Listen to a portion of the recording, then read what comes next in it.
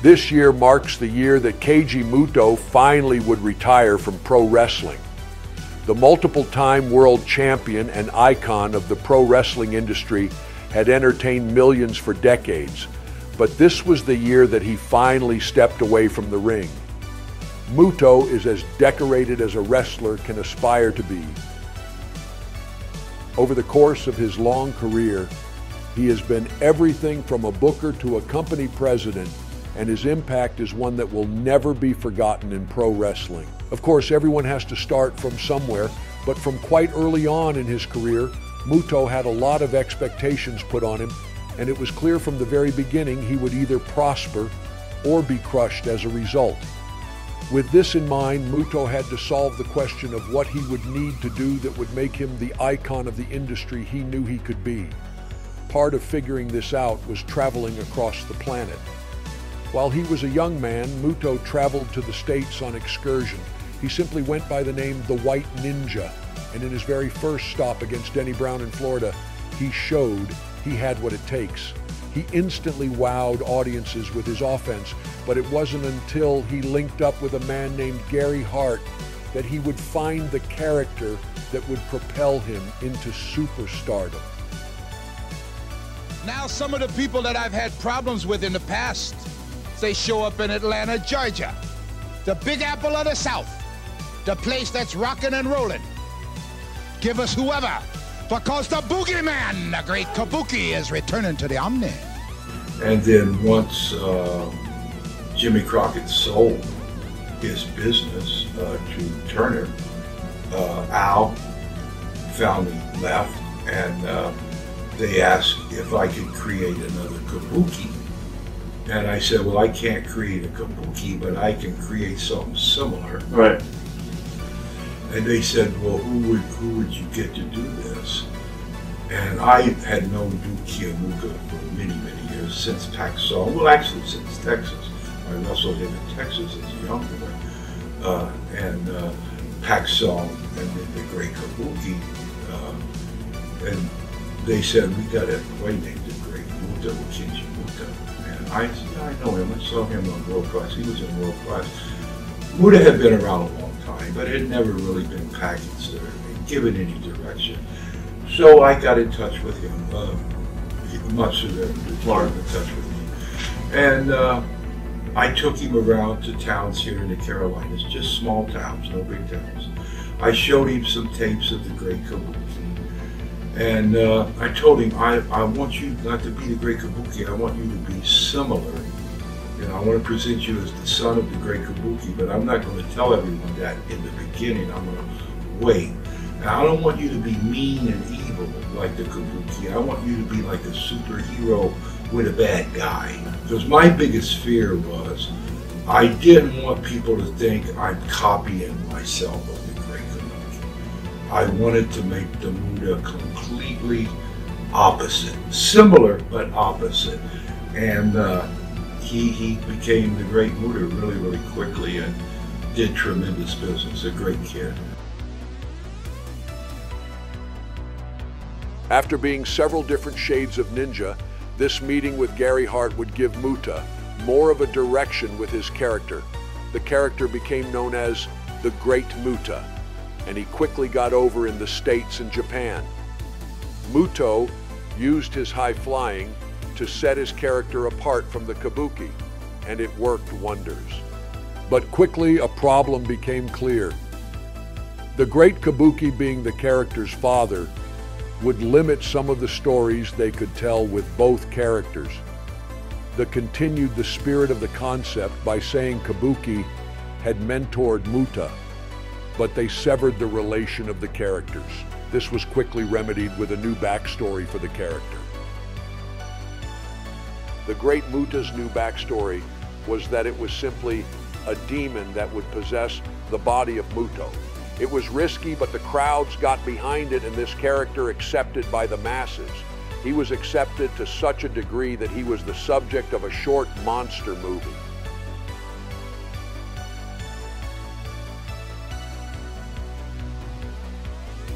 The film begins with a long walk in a cave where you see the great Muta spring to life from an egg.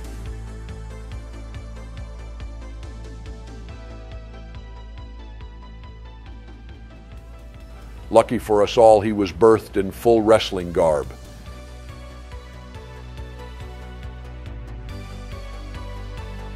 He wanders through the cave for a while, having some clips of his matches blink in a few times.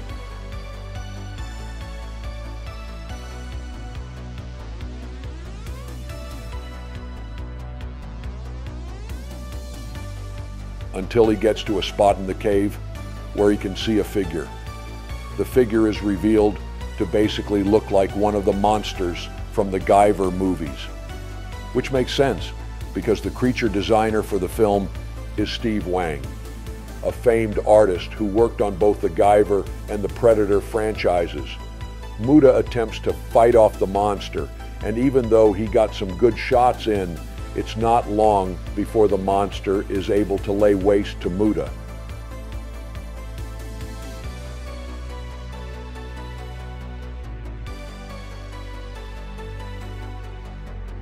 somewhat of a letdown if you wanted Muta to win off the bat. But this is where things get pretty great. The next part begins with Muta completely unconscious on the ground, but the moon lights up and resurrects him. As it seems he may just go fight the monster again, he suddenly notices that he isn't finished with this resurrection and begins to transform.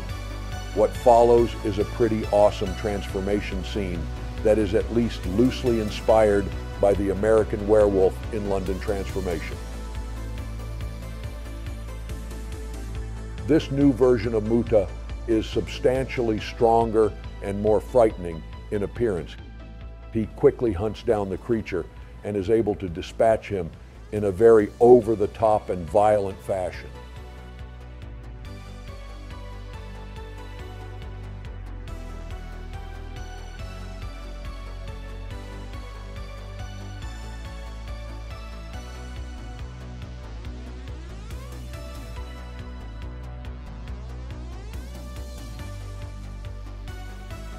the demon form of Muta grabs the leg of the fallen monster to drag him off to eat him or something, and the credits begin to roll.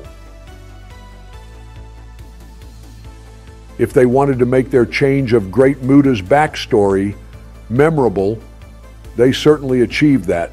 The Great Muta is one of the most beloved wrestling characters of all time and had a run that spanned over 30 years. And through all of it, he has made many different appearances in media outside of wrestling, but this one is probably my favorite. It was such a unique use of the character and different type of storytelling that it easily stands out. Creature features starring a pro wrestler is something that should probably make a comeback. New Japan certainly saw something in this aspect of showing their characters and seemed to have some pretty big plans involving this aspect of storytelling. During this time, a full length two hour movie was made about the character of Jushin Liger. Much like Muta Liger had gained a large amount of popularity not only in his home country of Japan, but around the world, and with frequent stops in the States, even the most casual wrestling fans had heard of him. The character had been borrowed from a long running anime, somewhat like Tiger Mask. But unlike Tiger Mask, the wrestler was able to surpass the popularity of the source material. This opened up the avenue for another collaboration with Steve Wang to give the same treatment we saw with Muta to Jushin Liger. For whatever reason, these collaborations would come to a close. The cost was likely the reason, but for the time that we had it, these were extraordinary pieces of media.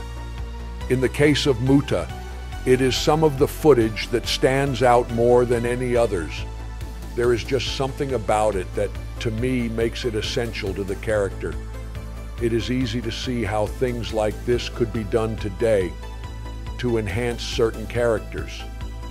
A retelling of a few origin stories with this kind of twist could be an interesting way to go.